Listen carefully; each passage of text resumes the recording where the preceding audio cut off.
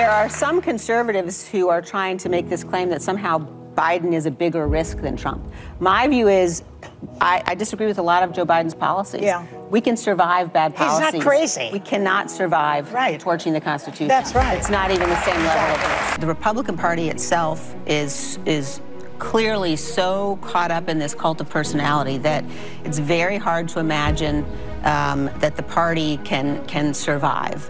Um, I think increasingly it's clear that once we get through 2024 we're going to have to have something else, something new. I, I, believe the country has to have a party that's based on conservative principles and values, that where we can engage, you know, with the Democrats um, on substance and on policy. We've seen authoritarians operate exactly like yes. Donald Trump is operating mm-hmm. in other parts of the world, and what we know is they can't do it alone. Yeah. And so, you know, you have a small number of people who actually elected officials who believe what he's saying.